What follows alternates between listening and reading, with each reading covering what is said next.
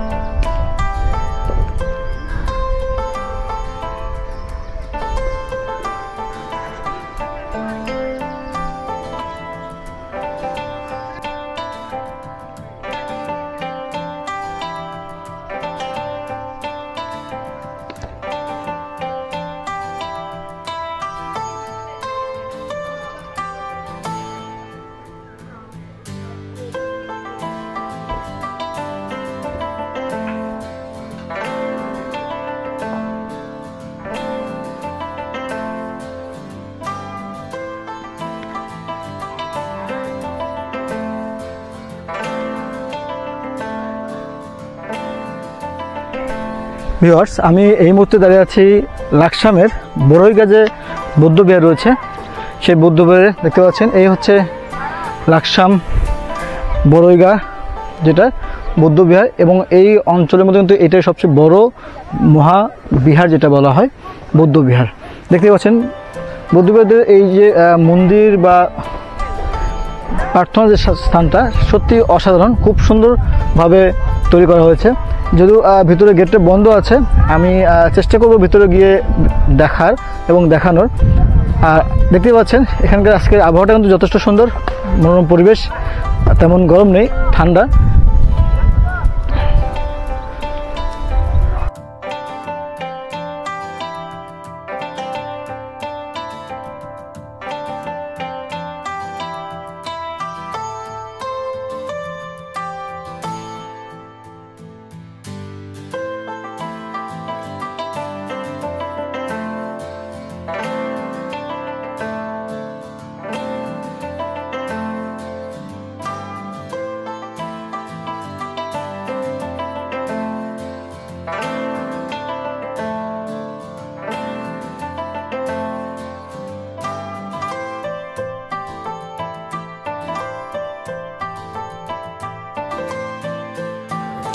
বিহার্স আমি এখন দাঁড়িয়ে আছি এই বড়ই গ্রামের যে বৌদ্ধ বিহারটি রয়েছে, মহাবিহার, যেটি কুমিল্লা লাকসাম উপজেলায় অবস্থিত। আর এই বিহারটি কিন্তু অনেকটা জায়গা নিয়ে অবস্থিত। এখানে এই বিহারের আয়তন হচ্ছে পাঁচ একর সাঁত্রিশ শতাংশ জায়গার উপর নির্মিত এই বৌদ্ধ বিহার আর এই বৌদ্ধ বিহারে প্রায় একশো আশি থেকে নব্বই জন বৌদ্ধ তারা যারা আশ্রমে থাকেন। এদের বেশিরভাগই হচ্ছে বান্দরবন রাঙামাটি, খাগড়াছড়ি এই অঞ্চলে যারা অনাথ রয়েছে, তারা কিন্তু এই আশ্রমে বা বিহারে এসে বসবাস করেন। এবং এদেরকে এখানকার খাবার দাবার থেকে শুরু করে পোশাক আশাক এবং পড়াশোনার সব কিছু কিন্তু এই বিহার থেকেই সরবরাহ করা হয়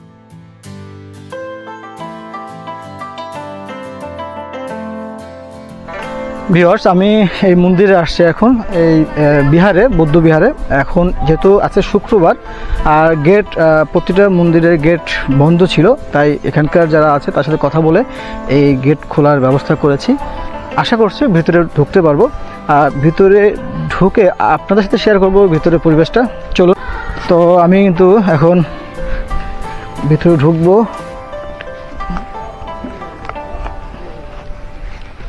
ভিউয়ার্স আমি এখন এই বিহারের যে স্মৃতি যে মন্দিরটা, অর্থাৎ এখানে, এই- এই বিহার সৃষ্টির পর থেকে যত স্মৃতি রয়েছে, সেই স্মৃতি মন্দির যেটা বলা হয়, দেখতে পাচ্ছেন। আর ইনি হচ্ছে এই বৌদ্ধ বিহারের প্রতিষ্ঠাতা মহামান্য দশম সঙ্গরাজ পণ্ডিত জ্যোতিপাল মহাথের। ইনি হচ্ছে এই বিহারের প্রতিষ্ঠাতা, দেখতে পাচ্ছেন। পাঁচই জানুয়ারি উনিশশো তেত্রিশ খ্রিস্টাব্দে কিন্তু তিনি এই প্রবজ্জা গ্রহণ করেছেন। এই ভিওয়ার্স এই বড়ইগাঁও অনাথ আশ্রম, যেটি উনিশশো বিয়াল্লিশ খ্রিস্টাব্দে প্রতিষ্ঠা লাভ করে এবং বড়ইগাঁও বালিকা উচ্চ বিদ্যালয় উনিশশো উনসত্তর সালে প্রতিষ্ঠা লাভ করে থাকেন। সেই সময় থেকে কিন্তু আজ পর্যন্ত এই বৌদ্ধবিহারটি সুন্দরভাবে চলে আসছে। আর যেটা বলছিলাম যে এখানে রয়েছে তার ব্যবহার্য যে জিনিসপত্র, সেগুলো স্মৃতি হিসাবে এখানে রাখা আছে, দেখতে পাচ্ছেন।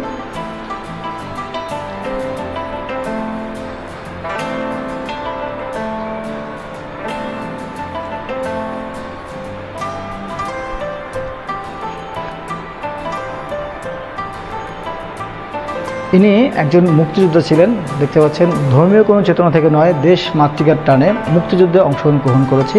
সংঘরাজ শ্রীমৎ জ্যোতিপাল মহাথের। তিনি কিন্তু এই বাংলাদেশ উনিশশো একাত্তর সালের মহান মুক্তিযুদ্ধে অংশগ্রহণ করেছিলেন। তিনি একজন মুক্তিযোদ্ধা।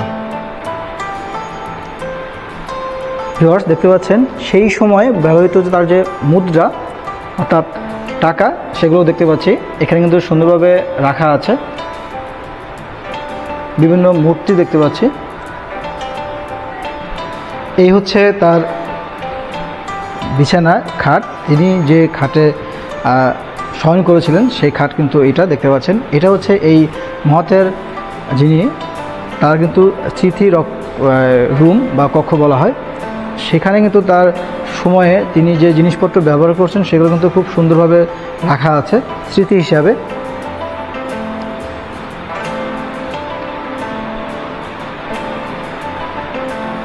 তার জীবনকালে তিনি যে সম্মাননা পেয়েছেন, যে ক্রেজগুলো পেয়েছিলেন, সেগুলো কিন্তু এখানে দেখতে পাচ্ছি।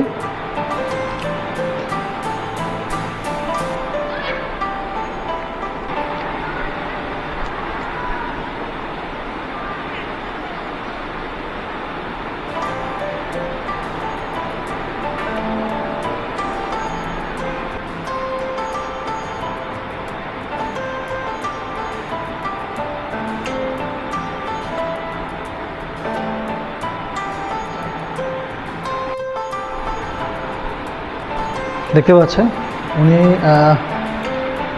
অনেক সম্মান পেয়েছেন। তার ড্রেসগুলো কিন্তু এখানে সুন্দরভাবে সাজানো আছে। দেখতে পাচ্ছেন আসলে তার জীবনকালে অনেক মহৎ কাজ করেছেন।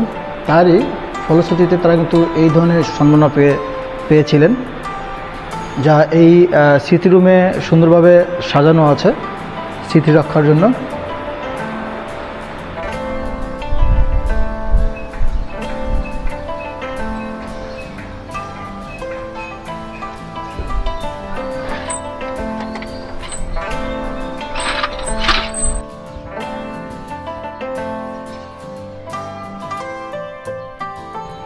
বিয়ার্স আমি এখন প্রবেশ করছি এই বুদ্ধবিহার যে মন্দিরটা। সেই মন্দিরে দেখতে পাচ্ছেন, এই হচ্ছে বুদ্ধবিহারের মূল যে মন্দির, সেই মন্দিরে দেখতে পাচ্ছেন। এখানে হচ্ছে এই আশ্রমে যারা আছেন বা এই আশেপাশে যে যারা বুদ্ধ জনগোষ্ঠী বাস করেন, তারা কিন্তু এই আশ্রমে এসে প্রার্থনা করেন।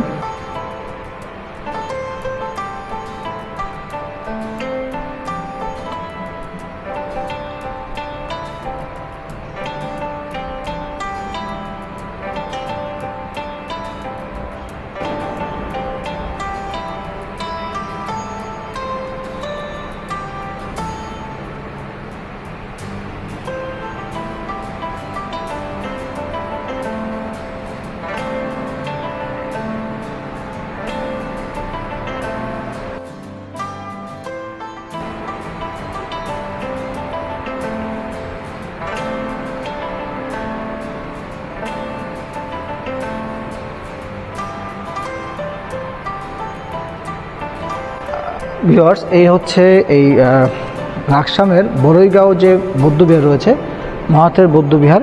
এই বৌদ্ধবিহার কিন্তু এটা হচ্ছে মন্দির।